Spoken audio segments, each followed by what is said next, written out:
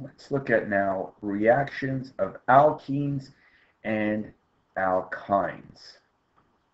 Now, uh, when dealing with these kinds of reactions, um, there's a lot more um, reactivity that, that can actually occur amongst alkenes and alkynes. And, and the reason for that is because of the presence of um, double bonds, right? So double bonds and triple bonds, right? So the presence of these types of bonds uh, are what allow for greater chemical reactivity um, within these types of hydrocarbons. Right? So typically these kinds of reactions um, will take place um, a little bit easier, right? If we look, if you look back at the, the video about reactions of alkanes, and you looked at the substitution reactions, right? They were more likely to occur um, in the presence of heat or UV light. However, with some of these alkene alkyne reactions, typically just room temperature um, is good enough to allow for these uh, to actually take place. Okay, so let's look at um, the um, the following. Uh, and so we're looking to look at well, one of their types of reactions, which is called an halogenation, uh, which is really it's an addition type of reaction. If we're using bromine, if we're using chlorine, remember what we said about fluorine, fluorine being very, very reactive. Now, what's going to happen is we're referring to this being a an addition reaction. So really what's happening? Now, we talked about the reaction being reactive because of this double bond. And in fact, that's really where the location of the addition is actually going to take place.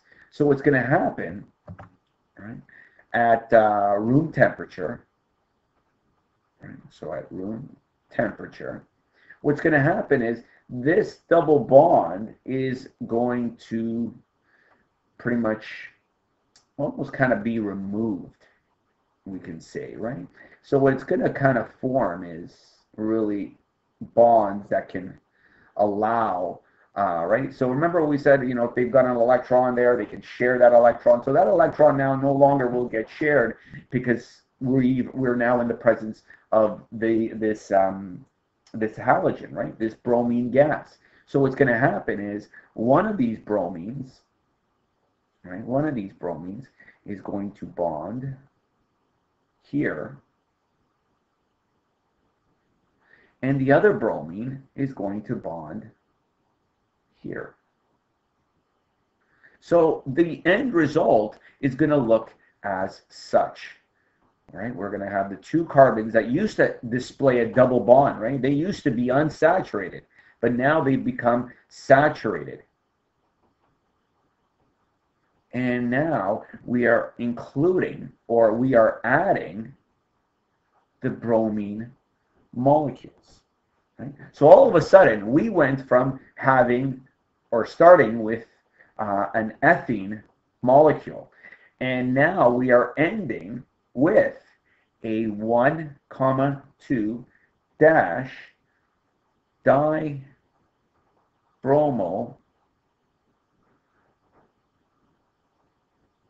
ethane molecule. Now look at this molecule and let's look back at the oh the uh, the previous um, example when we were talking about the reaction with alkanes, right?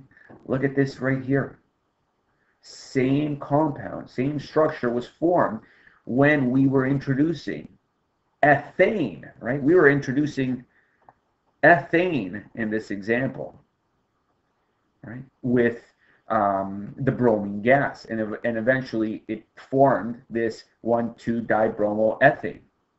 And if you look at now with the new example, we were able to form the exact same structure. However, we didn't need, right? If you look back at that example, we needed heat, we needed UV light.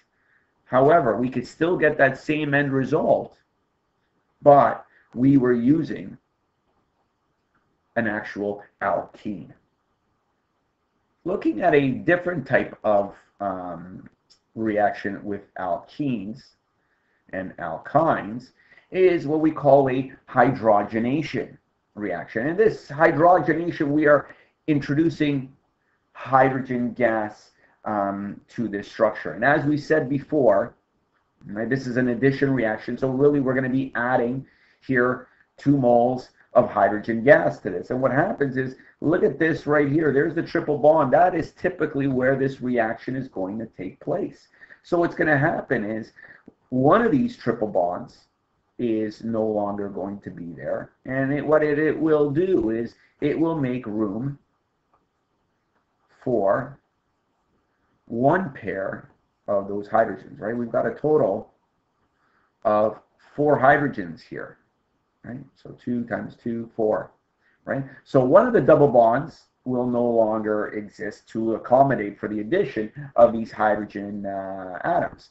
Then what's going to happen is the same thing is going to happen with one of the other remaining bonds, and it will allow for the bonding of the other remaining hydrogens.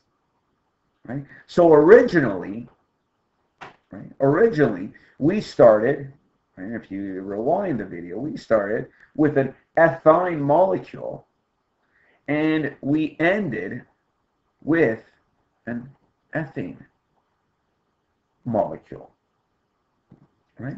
So let's uh, let's take this back now. So let's take this back a little bit. Right? And let me just show you what we originally had.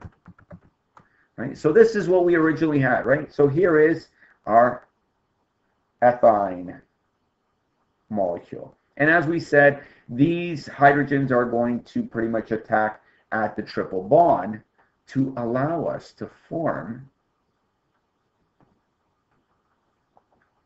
right, our ethane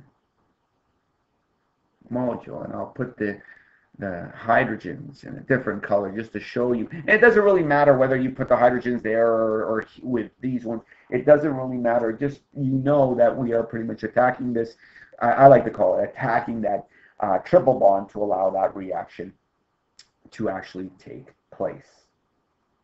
Next type of uh, alkene alkyne reaction I, I do want to look at is what we call the hydrohalogenation. And it's also an addition reaction because we're going to be adding, right, atoms to this uh, hydrocarbon, right? However, the, the atoms that we're adding are going to be some type of um, hydrogen halide, right? Hydrogen halide. So hydrogen bonded with one of the halogens. And here in this example, we have HBr gas, right? Hydrogen bromide gas. This reaction will take place um, at room temperature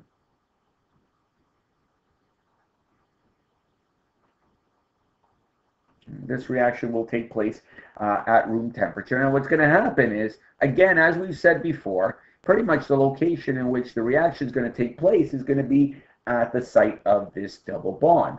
So now what's going to happen is which one of these, you know, are going to bond, right? So we're looking at this double bond, and this double bond is going to make room, right? It's going to make room so we're going to get rid of this double bond. And what's going to happen is it's going to have, we're going to put it in a different color, that spare electron that is ready, that, that used to be shared, now ready to form bonds. However, we have pretty much a hydrogen and a bromine that will either bond to one of these, right? So now, which one? We can put a hydrogen, we can put the hydrogen here and the bromine here. Or we could put the bromine here and the hydrogen here. However, both results, right, this first result and this second result will give rise to a completely different um, nomenclature name, right? Different, different name for the structure. So which one will actually, um, will it actually be? Now, I'm going to introduce now this, um, this certain rule, right? And the, the rule is uh, referred to as the Markovnikov rule. Let me uh, write that down. Markov Nikov rule. Right? So it's pretty much an experiment that, that showed um, that there was really only one type of main product that can actually occur when this reaction took place, even though we say that there's a possibility of two different reactions happening, but only one type will happen. Which one of these is really going to happen? And according to, and it's a rule based on uh, a rule that, that's known as the the the, the Markov Markovnikov rule, named after uh, a Russian chemist, obviously. And really, what it, it says is that carbons will try to become hydrogen rich. Right? So which one of these carbons is going to continue to be hydrogen rich? So we look at this carbon here, right? This first carbon, and uh, let me uh, let me circle it. That first carbon. This first carbon here has two hydrogens already, right? This second carbon, where the bond can actually occur, has only one hydrogen associated. So according to Markovnikov rule, the Markovnikov's rule, which carbon is going to continue to be rich. So it's kind of like the rich getting richer. So this carbon here is already rich with hydrogens. So it's going to want to continue to be rich. So which example? It's definitely not going to be the bromine that bonds to it. It's obviously going to have to be the hydrogen because it's already got two hydrogens as opposed to the one hydrogen this carbon has. So the hydrogen is going to remain with the richer carbon. So what's going to happen here is the following. So this bond, obviously, this bromine isn't going to bond there. We know it's going to be hydrogen. Right, so let's erase part of this. Right. So the bond that's going to actually occur here is with hydrogen, which means that over on this side here, the only option we have really to bond will be with the bromine. And so in the end, the end result, right, if you rewind the video, we started off with a propene molecule and we ended here with what we call a 2 bromo propane molecule. And this is also an addition reaction. Last one we're going to look at is hydration, right? So here what we're going to be doing is we're going to be adding water to this um, to this reaction. And as we've said before, time and time again in uh, in the previous videos, when dealing with reactions with alkanes and alkynes, and um, is that reactions are going to, like I say, attack where the double or triple bond is actually going to, occur. Right? So what happens here? Well, very similar to uh, to the other one. So I ended up writing water as such, as a hydrogen hydroxide here. So what's going to happen is hydrogen is going to bond to one of these carbons, right? So this double bond here, and actually before uh, we actually go, right, the original name of um, of this compound here is, well, we've got a propene molecule, right? And let's find out what this propene molecule will occur when we introduce water. And this will occur when we have the presence of some kind of a catalyst, right? Um, probably in presence of um, sulfuric acid. Um, and so what's going to happen is the following, right? So this double bond is going to break apart and it will make rise to the possibility of new bonding sites between the carbons. So which one of these? Hydrogen is going to bond to one of these carbons. Which carbon, right? So if you go back at, to where I, uh, in, in the previous um, example, we refer to the Markovnikov right? Markovnikov's rule. And the rule, as was stated, was that which one of these two carbons is hydrogen rich, meaning it's got more hydrogens. And whichever carbon is more hydrogen rich, it's going to continue to try to get rich by grabbing onto more hydrogens. And which carbon will that be? Well, the first carbon is going to take this H and a bond is going to occur here, which means this OH, this alcohol group, will form right there. And so the name of this compound now, so this propene molecule has now become a 2 hydroxy, or sorry, hydrox, well, hydroxy